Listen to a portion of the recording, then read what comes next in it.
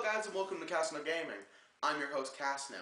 In today's episode, I'm going to be showing you how to obtain and evolve Feebas in Pokemon Omega Ruby and Alpha Sapphire.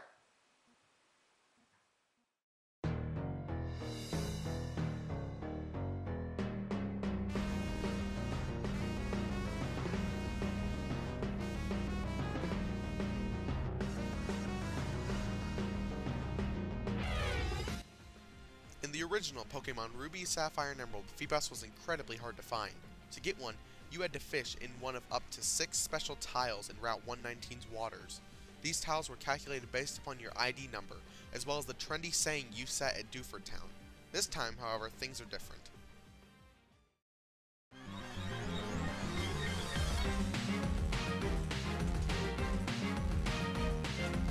Now while fishing on Route 119, Feebas has a 5% chance of appearing with any rod. That means you can use the old rod, good rod, or the super rod to get one. This makes Feebas a lot easier to find, but still has a rare aspect to it, but there's an even easier way of obtaining it. During the daytime, if you go to this bridge under Route 119 and fish underneath it, you will have a 100% chance of finding Feebas, making Feebas a very easy Pokemon to find. Alternatively, at nighttime, if you fish around this rock in the south of Route 119, you will also get a 100% chance of finding it. This makes things extremely easy when looking for a Feebas. This also helps if you want a chain fish to get a shiny, and once you catch it, you can just find it normally by looking for it on the DexNav. To evolve Feebas into Milotic, you have to raise Feebas's beauty stat to maximum and level it up in battle. To raise Feebas's beauty stat, you feed it blue Pokeblocks. You can create blue Pokeblocks by using any four of the following berries.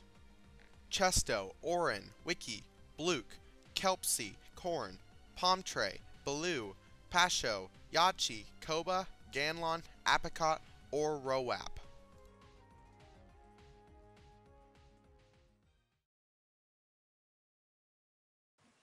If you liked this video, leave a like. If you want to see more of my comments, subscribe. Want to see a new video in the future that I haven't done before? Leave a suggestion in the comments.